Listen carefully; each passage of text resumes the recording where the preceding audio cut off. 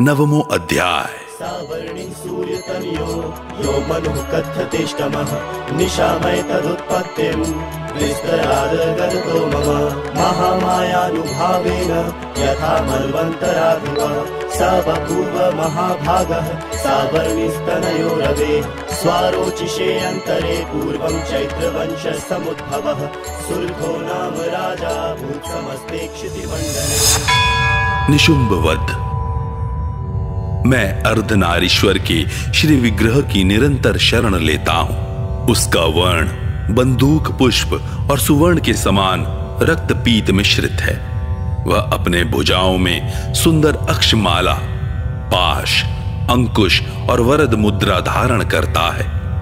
अर्धचंद्र उसका आभूषण है तथा वह तीन नेत्रों से सुशोभित है।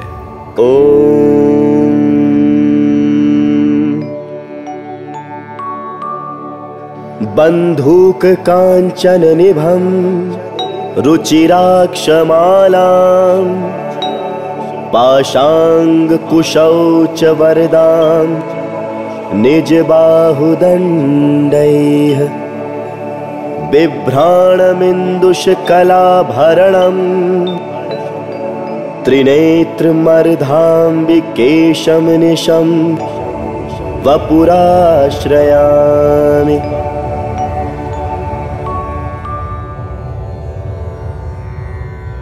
राजा ने कहा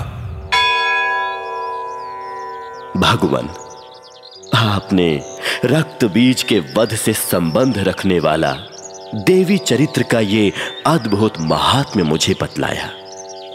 अब रक्त बीज के मारे जाने पर अत्यंत क्रोध में भरे हुए शुंभ और निशुंभ ने जो कर्म किया उसे मैं सुनना चाहता हूँ। ऋषि कहते हैं राजन युद्ध में रक्त बीज तथा अन्य दैत्यों के मारे जाने पर शुंभ और निशुंभ के क्रोध की सीमा न रही।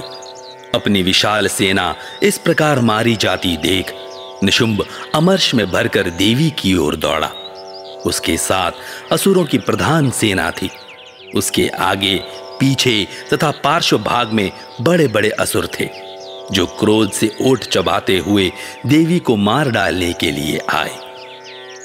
महापराक्रमी शुंभ भी अपनी सेना के साथ मातृगणों से युद्ध करके क्रोधवश चंडिका को मारने के लिए आ पहुँचा। तब देवी के साथ शुंभ और निशुंभ का घोर संग्राम छिड़ गया। वे दोनों दैत्य मेघों की भांति बाणों की भयंकर वृष्टि कर रहे थे।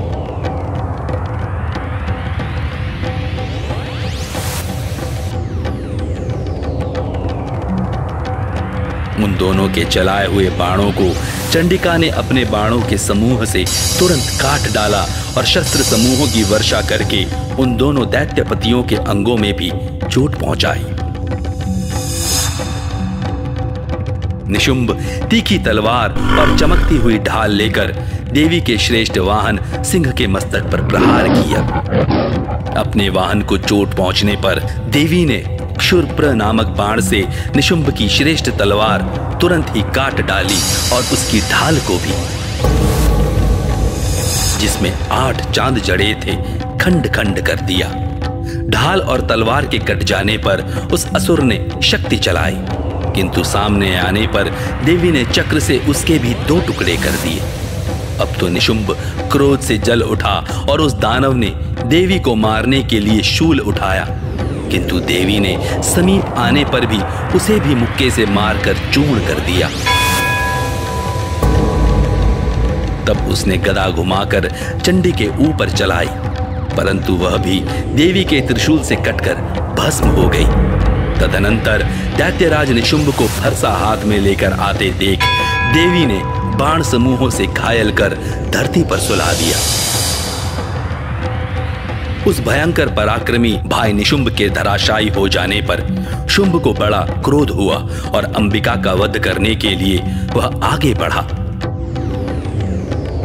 रथ पर बैठे बैठे ही उत्तम आयुधों से सुशोभित अपनी बड़ी बड़ी आठ अनुपम भुजाओं से समूचे आकाश को ढककर वह अद्भुत शोभा पाने लगा।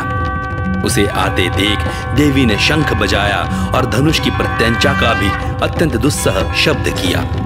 साथ ही अपने घंटे के शब्द से, जो समस्त दैत्य सैनिकों का तेज नष्ट करने वाला था, संपूर्ण दिशाओं को व्याप्त कर दिया।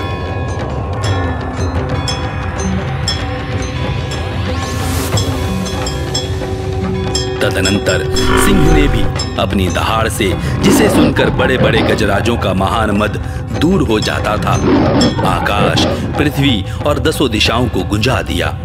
फिर काली ने आकाश में उछलकर अपने दोनों हाथों से पृथ्वी पर आघात किया।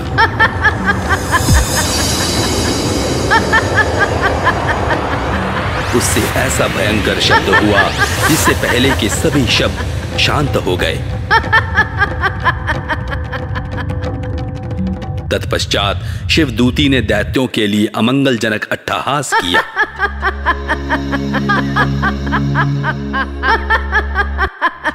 इन शब्दों को सुनकर समस्त असुर थर्रा उठे, किंतु शुंभ को बड़ा क्रोध हुआ। उस समय देवी ने जब शुंभ को लक्ष्य करके कहा, ओ दुरात्मन, खड़ा रहे खड़ा रहे। तभी आकाश में खड़े हुए देवता बोल उठे, जय हो जय हो। शुंभ ने वहाँ आकर ज्वालाओं से युक्त अत्यंत भयानक शक्ति चलाई अग्निमय पर्वत के समान आती हुई उस शक्ति को देवी ने बड़े भारी लूके से दूर हटा दिया। उस समय शुंभ के सिंहनाद से तीनों लोग गूंज उठे। राजन, उसकी प्रतिध्वनि से वज्रपात के समान भयानक शब्द हुआ, जिसने अन्य सब शब्दों को जीत लिया। शुंभ के चलाए हुए बाणों के, देवी ने और देवी के चलाए हुए बाणों के शुंभ ने अपने भयंकर बाणों द्वारा सैकड़ों और हज़ारों टुकड़े कर दिए। तब क्रोध में भरी हुई चंडिका ने शुंभ को शूल से मारा। उसके आघात से मूर्छित हो वह पृथ्वी पर गिर पड़ा।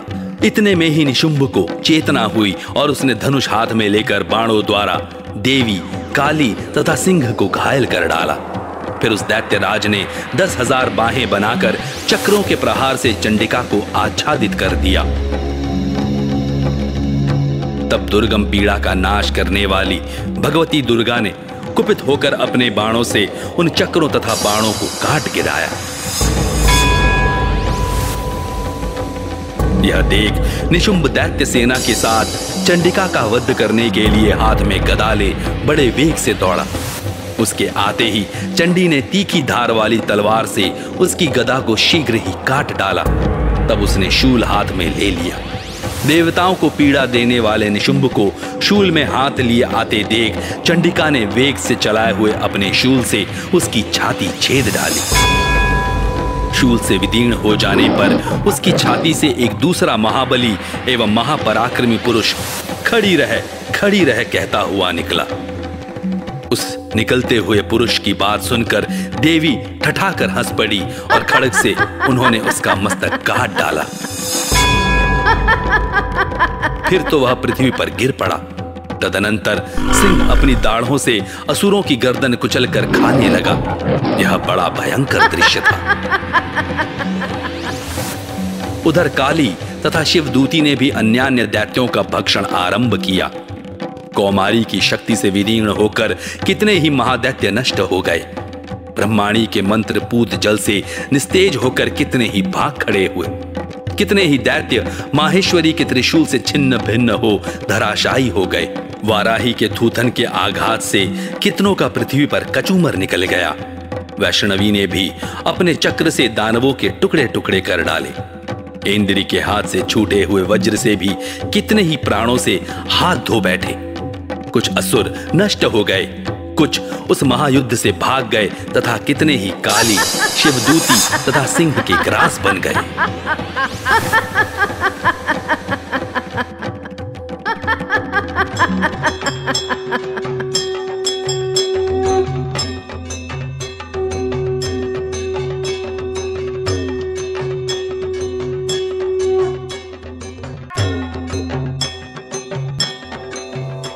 प्रकार। श्री मार्कंडेय पुराण में सावर्णिक मनवंतर की कथा के अंतर्गत देवी महात्मय में निशुंभवध नामक नौवा अध्याय पूरा हुआ।